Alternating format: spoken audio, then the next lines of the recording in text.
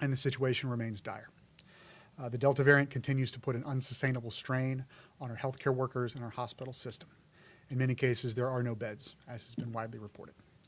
As of yesterday, there was an average of 288 new daily cases. There are now over 40,000 total cases and 846 deaths reported in Orleans. Uh, the positivity rate is over 12%. This touches everyone and it is impacting young people. We will surpass, sorry, we will surpass 3,000 hospitalizations statewide today. Uh, we are seeing some movement on the vaccination since last Thursday, which is encouraging. Uh, from Thursday the 12th through yesterday, Orleans gained 3,932 new first dose vaccinations. That's a 1.7% increase. It's incremental. We want to see more, but we are pleased to see that.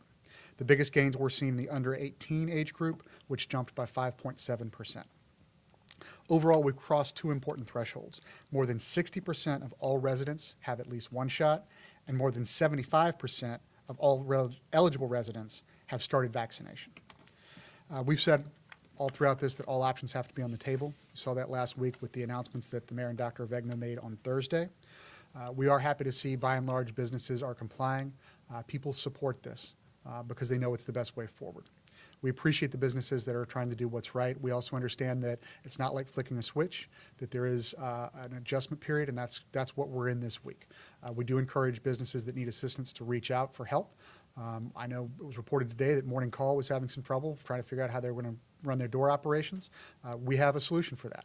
Right now, through our Job One program, we have staffing and we have funding to put people at the door that can help you check vaccinations at the door. So, uh, for those facilities that are having difficulty doing that, please reach out to Job One. We have people that want to work, we have funding to pay them, and we can do that, as I understand it, for up to six months. So, please reach out. First come, first served, obviously, but we have a solution for that problem. And again, I know Morning Call was having struggle with that, as Doug reported, and we'd like to help them out. Um, all that said, next week on the 23rd, we are going to begin enforcement actions. Uh, businesses that are found not to be in compliance at that time will face a penalty. That could include, as you've seen throughout this, we've done it before. We don't like doing it, but we've done it. Immediate cease and desist orders. We shut you down on the spot until you can come into compliance.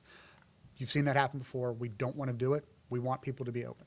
Um, as the mayor has said, as the uh, health leadership have said, the alternative to this is a shutdown. We don't want to shut down. We don't want to shut you down.